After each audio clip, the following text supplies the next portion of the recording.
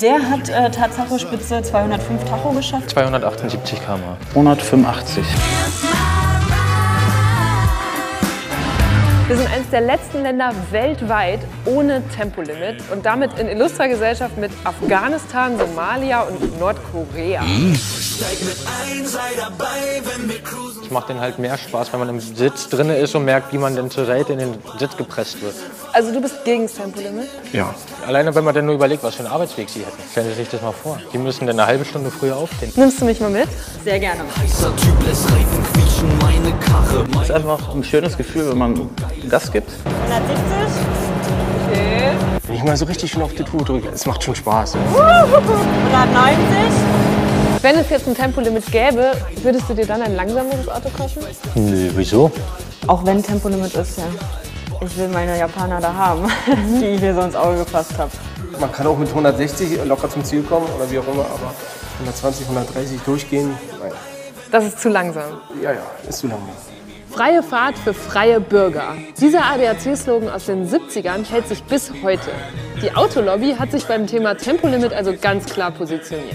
Wenn ich von A nach B komme, das ist für mich eher so die Freiheit. Einfach selbstständig zu sein, das ist halt die große Selbstständigkeit. Die ganzen Holländer, weiß ich nicht, Schweizer, und die kommen alle nach Deutschland gefahren, um schnell zu fahren. Ja. Dadurch verdient Deutschland, sage ich mal, denke ich mal, ein bisschen Geld dran. Die Leute aus dem Ausland kommen gerne rüber und da können sie ihre Autos hier schön austesten und ausfahren. Wie viel Zeit verbringst du mit deinem Auto?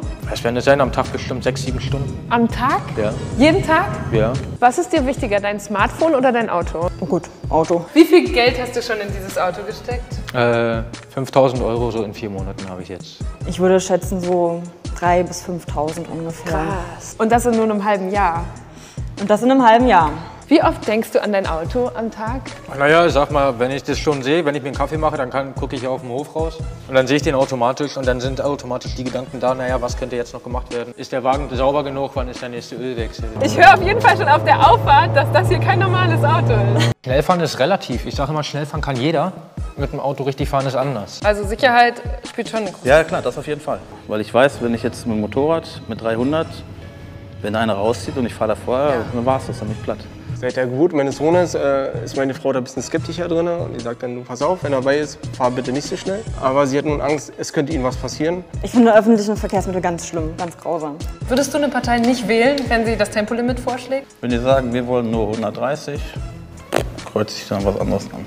Nee, ich will das partout nicht, dann kommt das für mich auch nicht in Frage, sowas zu wählen. So rein rational gibt es eigentlich nur Gründe für ein Tempolimit. Und auch hier habe ich heute keine dagegen gefunden. Dafür aber die große Liebe der Deutschen fürs Auto. Und wenn du, wenn du hinguckst, ich sehe da ein Lächeln, oder? Und wahrscheinlich ist auch genau das der Grund, warum sich die Politik da immer noch nicht rantraut.